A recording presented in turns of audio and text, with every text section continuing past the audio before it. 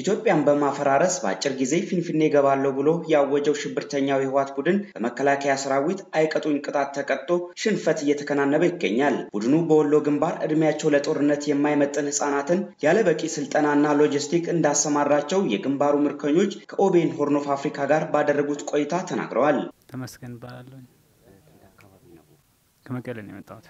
የመጣሁበት እንትን ከቤት አንድ ሰው ስለሚባል እኔ ነበርኩኝ መጣሁኝ። ለምን ግዴታ ስለሆነ የምታደርገው ነገር የለም። ስልጠና በቃ normal ወታደራዊ ስልጠና የሚባለውን በአርባ አምስት ቀን ውስጥ ሰልጥነናል። ከአርባ አምስት ቀን በኋላ ጨርሰን ወጣን። እኔ ማለት እንጃ እኔ አዲስ አበባ ነው ያደግኩትና እዚህ አዲስ አበባ ነው የነበርኩት። በቅርቡ ነው የሄድኩት ወደዛ። ብዙም ወደ ፖለቲካም ትምህርት ላይ ነው የነበርኩት።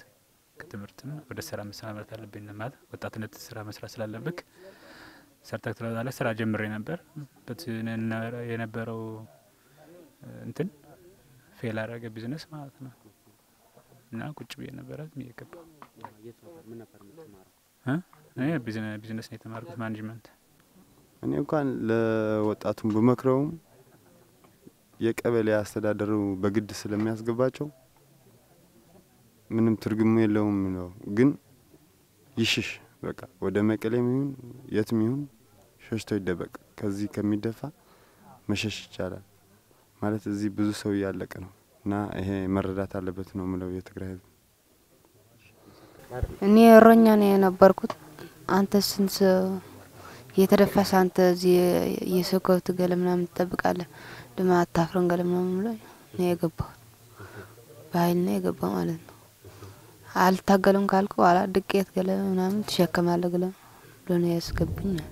መከላከያ ሰራዊት የሕክምና ድጋፍና እንክብካቤ እያደረገላቸው መሆኑን የተናገሩት ምርኮኞቹ የትግራይ ህዝብ ልጆቹን ለጥቂት ግለሰቦች ብሎ መገበር እንደሌለበት አውስተዋል።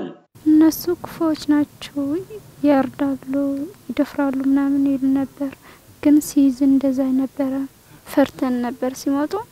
ከዛ እዚህ ስንመጣ ውሃ ይላሉ፣ ምግብ ይላሉ። በቃ በጣም ነው የሚከባከቡ። መከላከያ አይምሮን ገለ ምናምን ሲባል እንሰማ ነበር ነው። ግን እኛ ግን ያረገ ያርገና የሀገራችን ሰው ስለሆነ ምንም አያርገንም ብለን ተማርከን መከላከያ በቃ የሚበላ የሚጠጫ ነገር ገለ ምናምን ሰጠን ነው። እዛ ያለው ያለው ሁሉን ሰጠን ነው።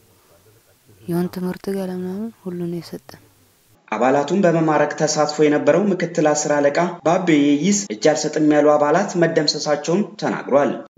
እኛ ኢትዮጵያዊ ለነሱ አንንበረከክም። እኔ የምሰጠው እኔ ለምሳሌ አሁን ሎጂስቲክ ነኝ፣ የሻለቃዋ ሎጂስቲክ ነኝ።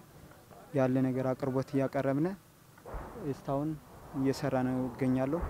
ያው ይህም ስናደርግ ደግሞ በቁርጠኝነት በጽናት ነው እየሰራ ነው የምንገኘው። እኛ ማንኛውም እጃቸው ለመያዝ ነው እንጂ እኛ ለመግደል አላሰብንም። አስበን ሩጠን ሁላችንም በመያዝ ምርኮኞችን አምተን አብዛኛዎቹ ሕጻን ናቸው፣ አብዛኛዎቹ ደግሞ ሴት ናቸው። እኛ ደግሞ ሰብአዊ መብት እስካላቸው ድረስ እነሱ አረመኔ የሆኑና እኛ ግን አረመኔ አይደለንም።